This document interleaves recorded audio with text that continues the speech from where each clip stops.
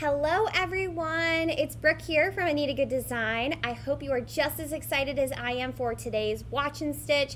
As you know, it is August 2nd, so we are in a brand new month, which means a brand new watch and stitch coming your way with different techniques to offer you. So for today, I will be teaching you about loop fringe, which you might have learned with me in our last month's watch and stitch. But this time, we get to hoop our fun project. So if you're stitching along with me today, we are doing loop fringe. We're doing design number five, which is our dress form. Uh, things you will need for today's project are tearaway stabilizer, your base fabric of choice, which I have this really pretty light pink uh, to go along with our design, your embroidery threads of choice, a six inch wood embroidery hoop, um, a ruler if you need that for trimming, rotary cutter and a mat if necessary, your curved tip applique scissors, your embroidery needle, and your wonderful machine.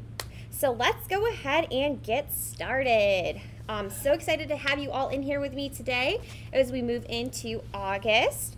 Again, if you're looking for these designs, you can go ahead and find this on our website for Watch and Stitch in August. Okay, so I have my little handy tutorial right here in front of me just in case we have any issues or bumps. For today, I'm going to have you hoop a piece of tearaway stabilizer. We'll go ahead and place our design into the machine and we're going to run our first machine step which will be the placement stitch for our base fabric. I'm going to go ahead and run my placement stitch in a uh, burnt orange color. That way you're able to see it on the tearaway and also the beautiful pink fabric that we have here. Uh, no worries, we'll go through the steps as we go, um, but don't worry about this color popping through. So we're gonna go ahead, and run that first machine step, which is the placement stitch for our base fabric. Now what's nice about this design is it comes in one size, and we have minimal stitching. So for this design, it's showing me 3,806 steps. Um, I mean stitches, that'd be a lot of steps in a in your embroidery design. Uh, 300 and or 3,806 stitches, and we have eight wonderful steps for today's project, which means it's going to be nice and easy for us. And I also have in the printout some of our other designs that you can look forward to as well if you are looking to purchase our watch and stitch. Okay, so for the first step, we have run the placement stitch for our base fabric. Now in your tutorial, it's telling you to place your fabric right side facing up. Be sure your material is at least two inches larger than your placement stitch. You might see here that I have extra room when I am placing down my fabric. This is just so I feel nice, comfy, and cozy when I am um, getting ready to hoop, I want to make sure I have plenty of room so you can follow along with your tutorial or you can go ahead and estimate um, a bigger piece. Now, I know some of you are probably asking, can I hoop my base fabric along with my tearaway stabilizer? And the answer is yes. However, all you would need to do is skip the first step, which would be for the placement of your base fabric. So for today, I'm going to follow exactly how our tutorial is running. So we have our first step all done. I ran this in a burnt orange, like I said before, so you will hopefully be able to see it. I'm gonna hold it up here, and hopefully I get the clearance. Can they, are they able to see the? a little closer. Closer? So as you can see, it's a circle for our awesome hoop, and our design is going to be placed on the inside of this wonderful circle. I'm going to go ahead and lay my base fabric over top of my circle. Now, as your tutorial says, you want to make sure you have two inches of material left over so when you're hooping, you have everything all set and ready to go. Like I said before, I'm going to use a bigger piece just to play it safe, make sure I have enough room. Now to get my piece to stay exactly how I would like it to, I'm going to go ahead and use some embroidery tape to tape it in place. If you don't have tape and you would like to use a temporary spray adhesive, you can also use that as well. But for today, I'm going to go ahead and use this pink embroidery tape, which just fits my theme. So I'm going to kind of roll with this one. Now for your next machine step, we are going to use that same burnt orange color just so you can see this um, when we are ready to uh, hoop and so you can see it along the way. But no worries if you see, your, see the stitching, we will go over this at the end. Uh, no need to panic. So we'll make sure our fabric, base fabric is nice and flat. We're gonna go ahead, place it into our machine, run our next machine step, which is step number two, and this will be the tacking stitch for our base fabric.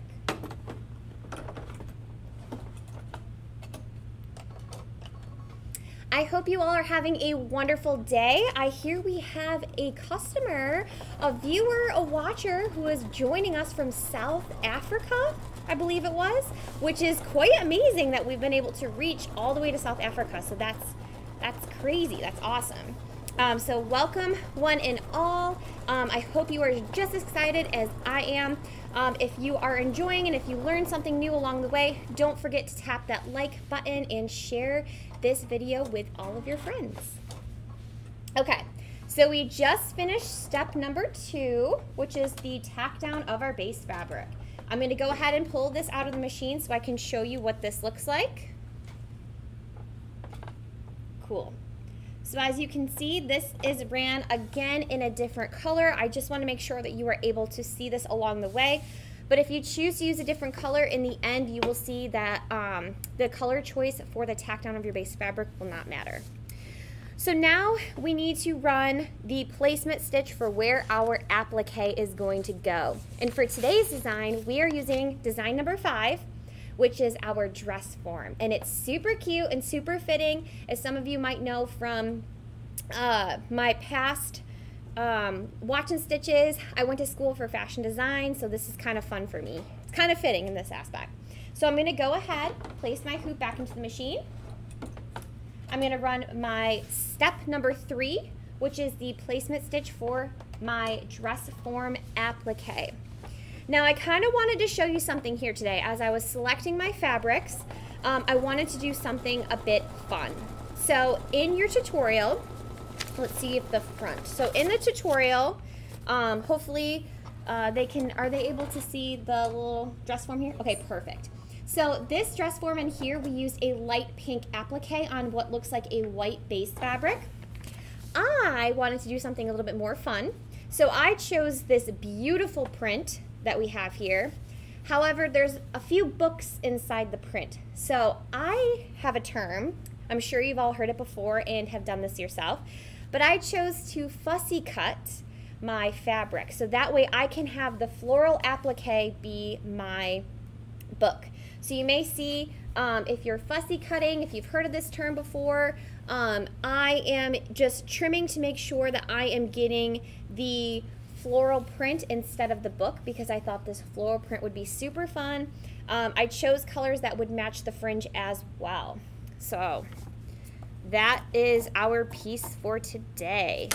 So you can see here that I have the beautiful florals and instead of getting the books in there, I just wanted the florals. So that is what I'm saying when I fussy cut my fabric. Okay, I'm gonna take this back out of the machine just so we can show what it looks like. Here we had just run um, step number three, which is the placement stitch for our standard applique. Now when you have your standard applique all selected, you're gonna go ahead and lay that fabric right side facing up, cover your placement stitch completely.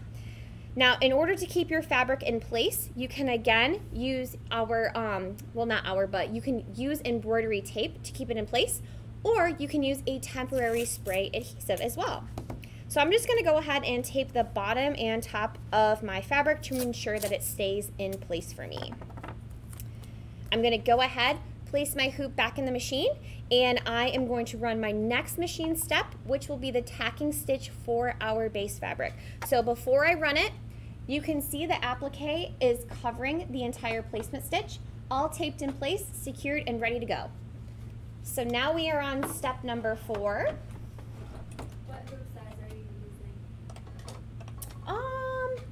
I am using, this one looks like it's a five by seven, I believe, for my hoop. Um, the design is one size and it fits four point, or the design size in general is 4.8 by 4.8. So I believe this one is a five by seven. Okay. So now I'm going to go ahead and move this fancy fabric out of the way. And I have now run my placement stitch. Now for you to see the placement stitch, I probably should have went with a brighter color. So I'm gonna go ahead and trim away my excess fabric and then I'll show you what my design looks like once I trim it. So I'm gonna go ahead and remove that tape from my applique fabric. I'm going to take my sharp curved tip um, embroidery scissors. Um, our favorite is Gingher. They are nice and sharp and they cut the fabric nicely. So I'm going to go ahead and trim away my excess fabric close to the tacking stitch line and then I will show you what our um, dress form design looks like with the applique and it's really pretty with that um, beautiful floral color that I chose for this one. Um, again, you can use any sort of textile that you desire for your project when it comes to your standard applique. I chose this fun cotton because um, I love to have a bold print in my projects. But if you would like to use a solid base fabric as well, you are absolutely welcome to. So you want to make sure that you're trimming as close as you can to that tacking stitch line. This just assures that when we go to our step, which is the satin stitch to secure that applique fabric, that just ensures that our applique fabric is not poking through the satin stitch. So I use my scissors. Um, I know I've had a couple people ask before what kind these are. They are the Gingher scissors, which you can find online or at your um, local dealer. And here you can see that I trimmed away our excess material from our dress form. All right, so now as I said before, trimming away your standard applique as close to the edge as possible is great for your satin stitches because step number five is going to be that satin stitch outline and you want to make sure that your fabric isn't peeking out. So for this one, um, and I'm sure most of you have known or learned this as you've stitched along with me. I love a good metallic thread. I love sparkles. I love bold prints and fabrics. So I'm going to go ahead and use um, this Floriani color. Unfortunately, our tag isn't on here, so I'm not sure what the number of this one is. Um, but I'm going to use this shiny pink metallic thread. So I'm going to go ahead and place that on here. I think it'd be super fun to add a little bit of texture to um, these lighter, uh, new, more neutral fabric colors.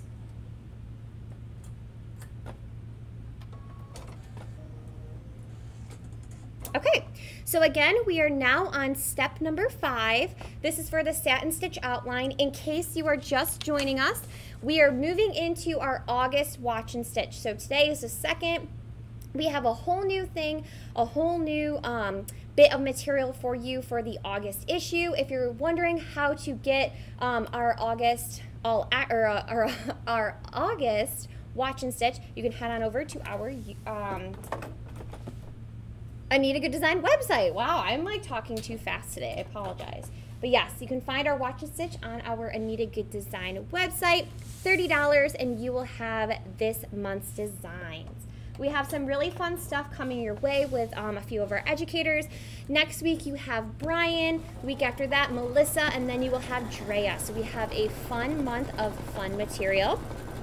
You're going to learn a little bit about lace ornaments. You're going to have some fun with printed fabric and even 3D organza flowers, which is really exciting. Okay, so I told you before that we are doing the loop fringe portion of our watch and stitch. Um, we have five designs and we are working on design number five today. This is our um, dress form design.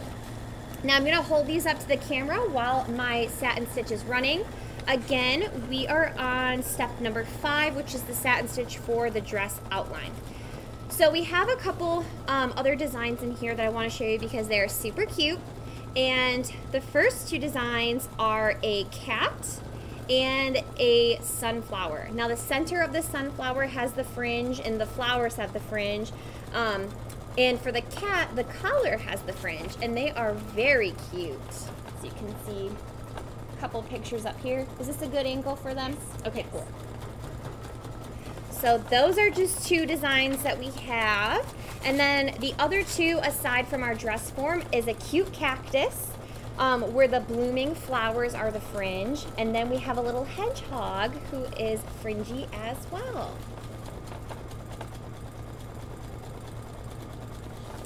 So there are five super cute designs to choose from. Um, they are all the same size, so 4.8 by 4.8. Stitch counts will vary, but the fun never ends because there is um, different steps for applique in here and colors of thread. So this is our loop fringe for our watch and stitch. Again, you can find this on our website for $30. Um, and if you're stitching along today, welcome. I hope you're learning something new and having some fun.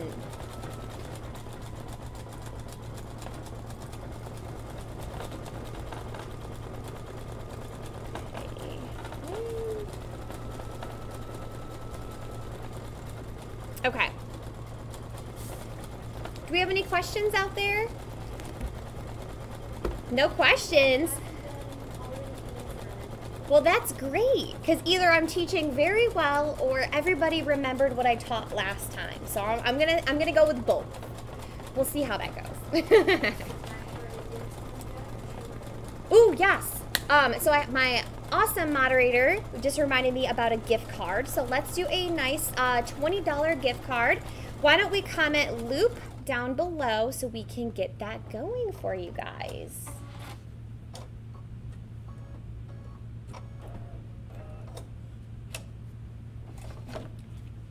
Julie Page, can I have you do me a favor?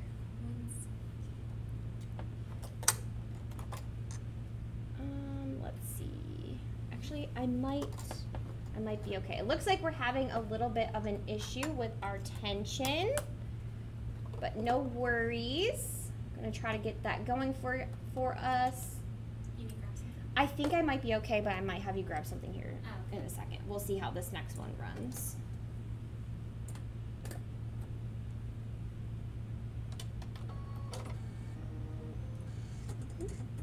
So I'm just rethreading my thread here. I noticed that I can see some of our bobbin popping through on the top of our design. Um, so I'm just gonna go ahead and rethread this one. And actually, let's go ahead and change the bobbin. Would you be able to grab me one of those? It's right in this top drawer right here. Let's go ahead and just change that little guy out. Do we have a lot of loops getting dropped in the chat? We sure do. Awesome. I know we're all excited for that $20 gift card. So while we're waiting on the bobbin, I have to ask. Now I have a question for all of you. Has anybody in the chat um, saw our Anita's blog? I'm very curious. So I'm gonna gonna drop that down. Oh, does that work? No. Uh, maybe a fuller one. Okay. There's different colors. Just white, hopefully. Uh, that was the last one. Oh, In the corner? There yeah. There we go. Perfect. Thank you. Awesome. So yes, back on I want to say it was June 5th, 4th, 6th, somewhere around there. Uh, we launched Anita's blog, and it's a fun way for you to also sew along with me um, when I am not behind the camera. So I have all these fun tips and tricks. I teach you all these neat things, and we have some fun DIY projects along the way. I also have an email. It's um, blog at anitagoodesign.com and you are able to send in any requests and hopefully I am able to write about them and assist you along the way. So this past Friday we had a blog released and I taught you how to find um, the perfect size quilt that you are looking for. We have a design size guide and we also have a fabric calculator. So I teach you about your um, design files and your sizes for your quilt blocks and then how much fabric you need for that set design. Okay, so I'm gonna. I love the blog. Oh, yay! Um, our moderators are telling me that you love the blog so far, which is super exciting. Um, I have another one coming this Friday for you all. Um, that is the, the next thing. We launch every Friday at 9 in the morning. So you will have something new coming to you every Friday. Um, so for this Friday, I will be teaching you a little bit more about stabilizer. I know a lot of you tend to ask some questions um, about what kind of stabilizer we're using for our projects and whatnot. So you will be learning a little bit more about stabilizer for our next blog. Okay, so I changed out my bobbin and I rethreaded my machine in hopes that we have a little bit um, better sewing experience coming our way. So now I'm going to move on to the next step. We just completed step number five, which was for the outline of our dress form. I'm going to go ahead and do step six, which is the dress form um, the dress form details. So it's going to be the top piece of your dress form and the stand piece. So I'm going to go ahead and switch to 723 Floriani. And you may be able to tell from the beginning that I'm using different colors. Um, I am the one that preps our watch and stitch um, sessions. So I pick out the colors that we choose and I like to show you a little bit of a different version each time so that way you have a little bit more inspiration when you're working on your project.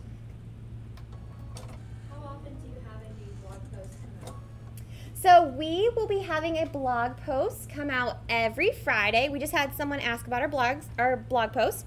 So we will have our blog post come out every single Friday at 9 a.m. So that means we currently have, I think, between 12 or 13 blogs already listed on our website. Um, I taught you all how to make a mini mesh sandbag for the beach when you're carrying your toys, um, your children's toys, or you just want to carry your flip-flops, or you're walking down the beach and you have all of these beautiful sea seashell treasures you picked up along the way. You can toss them in your mesh bag and it will make um, carrying them a lot less easier because you're not carrying the sand along with you.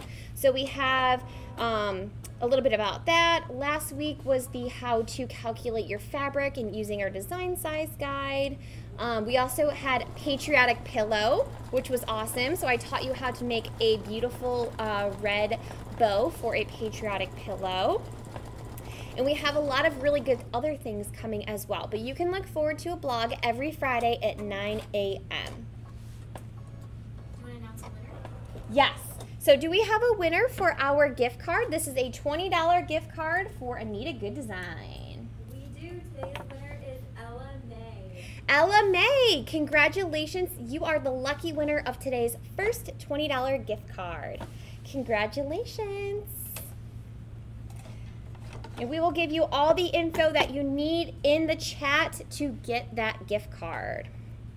Okay, so the bobbin change was the best move and the rethreading because this is looking so much better um, than it was before. So after I finish step six, I'm moving on to step number seven. This is for the dress fringe. So I'm going to go ahead and uh, use a different color that I've seen throughout this design. I'm going to go ahead and um, use this brighter orange because they have some brighter orange leaves throughout this beautiful little dress. So I'm just incorporating my colors into this fun, dusky kind of color palette.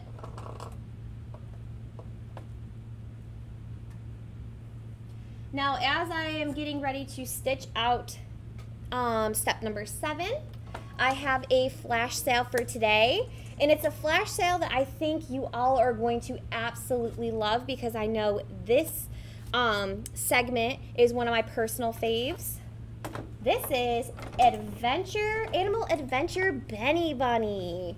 Now, Benny Bunny is on sale and you can get him, luckily, for half off. And this came out in July of 2021. And actually, Benny was one of um, the very first sets of tutorials that I ever wrote. So that's actually very exciting. So if you have our all access issue, um, whether you're digital or physical copy, you might see that I was the one behind our little hopper friend over here. So Benny comes with 17 blocks.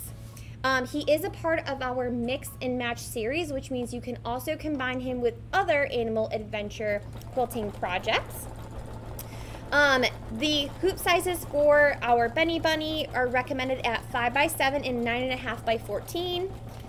And I'm going to hold him up once again, but maybe get a little bit closer because he has a lot of fun stuff. So from um, our folded fabric borders to straight up uh, standard embroidery, there's a lot of fun colors in this one, and you can really have fun with our Benny Bunny.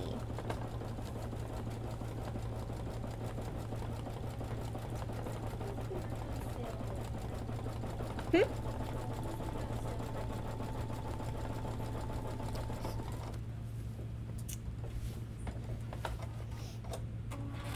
Alrighty. So we have our uh, fringe embroidery running at the moment. And I'm super happy that um, the machine wanted to behave and we are able to fix our little bobbin poking out. Um, but everything is going well. So we're almost done. We have one more step in our standard embroidery before we move on to the hooping process. Now I know that we um, are saying that you need a six inch embroidery hoop for this project, but you don't have to hoop this if you um, don't want to. You can place this design on pretty much anything that you, um, your heart desires or what project you're working on. So if you want if you're a little fashionista like me and you like to gather some fabrics, add this fringe dress form to um, your fabric tote bag, add it to your sewing room pillows, um, frame this little guy or hang it up with your embroidery hoop. Okay, so the next step before the fringing process is to do that inner satin stitch, that smaller satin stitch. So I'm going to go ahead and I'm going to make this one this um, dustier yellow color because it's continuing on with the colors. I'll hold up this fabric again. It is super pretty. And this is how I chose my fabrics or my threads for this project is I chose to pick threads that match certain leaves throughout this dress. Um, so I'm going to go ahead and switch to this one. And I'm going to go ahead and run that step before I show you our design before we actually do the fringing. I like to wait to the end to fringe so we don't run into any issues as we're continuing out through our embroidery design. Now this step is crucial and this is how you know it is a fringe technique. That inner satin stitch is set as an anchor. So the inner satin stitch is specially digitized by our wonderful digitizers here in-house. And what it does is it anchors um, the threads when you go to um, use your handy seam ripper to slice the back to create that loop fringe. So that's what helps create that loop is it anchors it for us. So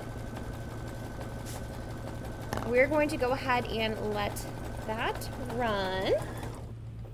And again, if you're just tuning in, we'll hold this little guy up one more time. Benny Bunny is on sale. He is 50% off. And he has a lot of fun designs. He also goes with our mix and match quilting method, which means you can use him with other animal adventure designs um, or any other of our quilt blocks that carry the mix and match series, you can use those to intertwine your blocks. Now there's 17 designs for our Benny Bunny. Hoop recommended hoop sizes are 5 by 7 and 9.5 by 14. Um, and yes, feel free to shop and let me know um, what you come up with. As always, we love to see what you guys create. So if you tag us on social media, you might have a chance to be featured on our page. Okay, so we are almost done with this last step in the embroidery design. And then we're gonna go ahead and flip our hoop over. But first I wanna show you what it looks like before we fringe. Now again, I'm going to show this up to the camera, but you are going to see that our bobbin was poking out around the satin stitch that is holding our dress form fabric. So unfortunately that beautiful metallic color is going to be kind of washed out with the bobbin, but no worries. Um, this is what the beautiful fringe will look like before we actually fringe it. So as I hold it up here, you can see the what or the uh, yellow is the smaller satin that anchors the bigger satin. So when we go to flip our hoop over and seam rip those bobbin stitches, that smaller satin stitch is going to anchor my loop fringe to create that beautiful, nice loop. Now for this project, I know um, some of you have asked before, what parts are we fringing? So today we are fringing the neckline and we are also fringing the two um, larger satin stitches towards the bottom of our dress. So you're gonna go ahead and you're gonna flip your hoop over we're gonna take our handy little seam ripper. As I said last time, this is the only time I like to use a seam ripper.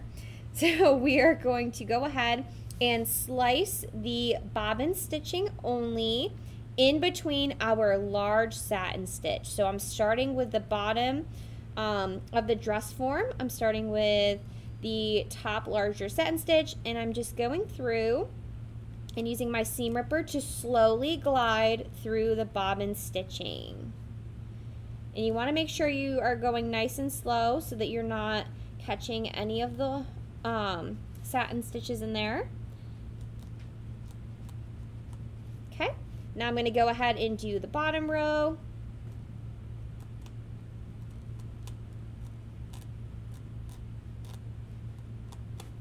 And I'm going to go ahead and do the neckline.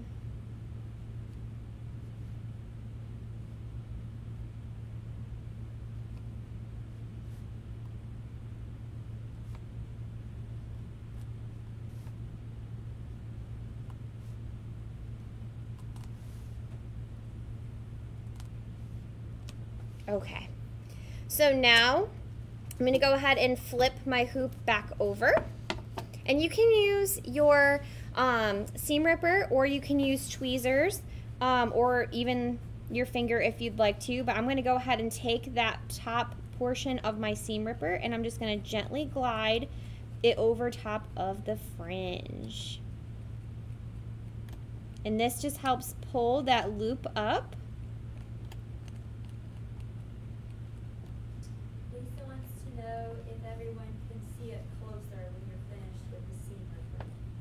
So we have someone that would like to see it closer once I'm finished getting the loop out. And absolutely, I would love to show you how beautiful this dress looks.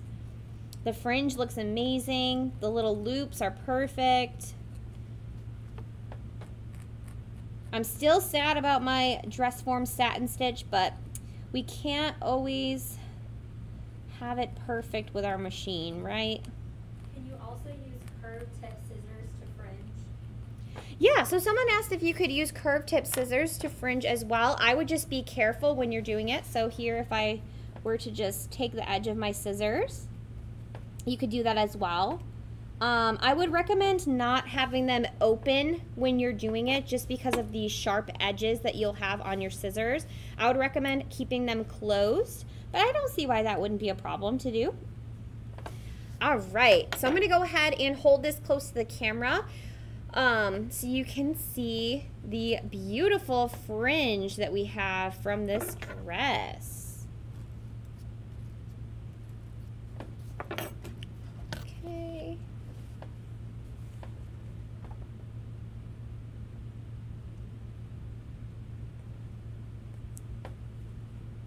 Perfect.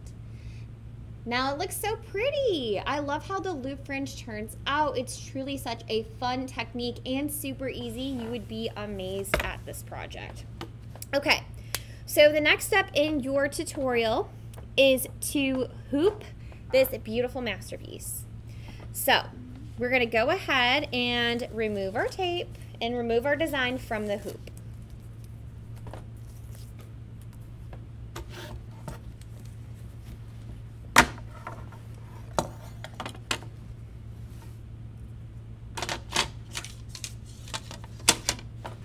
We have our six inch wooden hoop here. And as you can see, here we are all removed away from the hoop. And we're gonna go ahead and separate my two pieces. Whoever put this together really put this in here.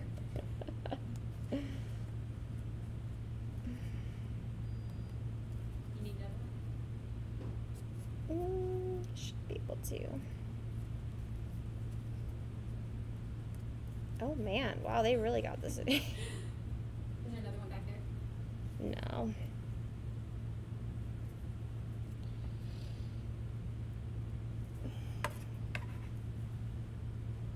Sorry for the delay.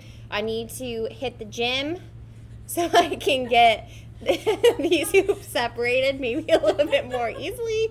Um, does anyone ever notice it's always something with my lives, you know? There we go. Perfect. Okay.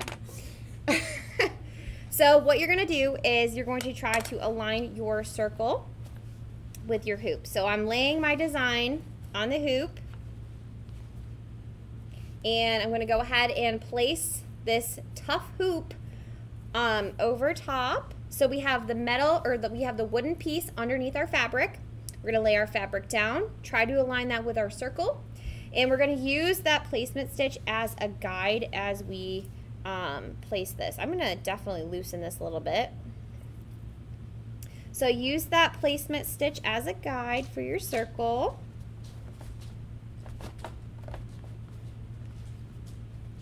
Cynthia is dying to see the back. yes, multiple times. Oh, oh, the back of the fabric? Okay. So we have someone that wants to see the back, which I will show you as soon as I can get this little thing hooped. And Janice wants to know, is it obvious which bobbin stitches to cut? Yes. Okay. These are all great questions, by the way. Okay. So we used that placement stitch to, or our tacking stitch for our fabric in the beginning. Remember how I told you that I used a burnt orange um, placement stitch? So this helps us as it aligns our um, design in the hoop. Now, if you don't want to place your design in the hoop, you can go ahead um, and skip those steps if you are looking to design or place your design straight on the fabric and you want to do um, a pillow, you want to do a tote bag, you want to place this on something else, you're more than welcome to do that as well. All you would need to do is skip the first few steps. Um, however, I'm sure you're wondering now what happens with that inner circle. Now all you would need to do is remove the stitches from the circle using a seam ripper. It's super easy. Um, as you can see, as I continue to move through it, it's super easy to just remove those satins or remove those stitches that we have along the way. Now we have a couple questions, which I'm really glad that we've um, you guys are asking all these questions. So the next thing to do is how to clean up your hoop. Well, you can use some scissors. You can go ahead and trim your design around the hoop. If you want to have more of a fringe aesthetic, you can leave some room around the outside and just to let it um, stay. You can fold it behind your hoop and glue it in place. Um, the choice is yours. Now, a few of you were asking, is it obvious where to um, remove the back stitches? And you also would like to see the back of the hoop as well. So I'm going to go ahead and turn that over. Now, it's really important to follow along with your tutorial as we show you where um, everything needs to be trimmed out. Because sometimes we have um, satin stitches in our designs, like the outside of our dress form, that is not fringe. Now you can tell that this is a loop fringe as it has that smaller satin stitch and the larger satin stitch. However, if you're ever second guessing and you're not sure what to trim, you can go ahead and pull your tutorial. Can they see this one in there? Cool. Uh, you can go ahead and pull your tutorial and it will show you what is fringed in each one. So for the dress form, we have the neckline and the two um, bottom pieces of the dress form. But if I were to do the hedgehog or if I were to do the awesome cactus, we would have the blooming sections and the fur of our hedgehog that are fringe. And you can also see too that they are secured by a very smaller satin stitch. Now it's important to make sure that if you are doing any sort of fringe um, for your design that your tutorial specifically states fringe um, that way, our digitizers have specially digitized it to make sure that it anchors down and it stays exactly how it's supposed to be. We have a lot of really fun collections that involve this technique as well. Um, you've seen it in our last watch and stitch. You may have seen it in our 50s festive fringe. Chris, uh, I think that was our 50s festive fringe outfits um, that were really pretty as well um, but that is exactly how you are able to pinpoint. You want to make sure that your tutorial is saying that it's loop fringe or it's fringe. The technique is just a smidge different.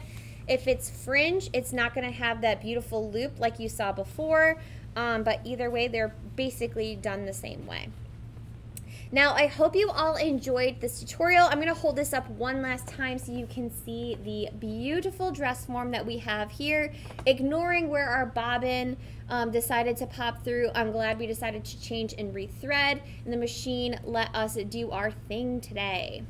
Now, I hope you all enjoyed this tutorial on loop fringe. Don't forget to check out this week's blog. We have a lot of really fun stuff coming for August. Uh, we are posting every Friday at 9 a.m. Um, next week, you will be doing lace ornaments with Brian. So that's super fun. We have an owl ornament that we will be creating.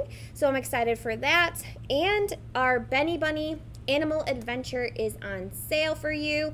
And don't forget to uh, don't miss out on that one as we have a lot of really good things. And the last thing I want to say before I head out is if you haven't already picked up the greatest hits um, pre-sale which is 175 on pre-sale we have extended that pre-sale for you all so head on over to our website for all of those goodies um, again thank you all for joining me for today's watch and stitch i hope you had an amazing time. I know i did. We'll see you next time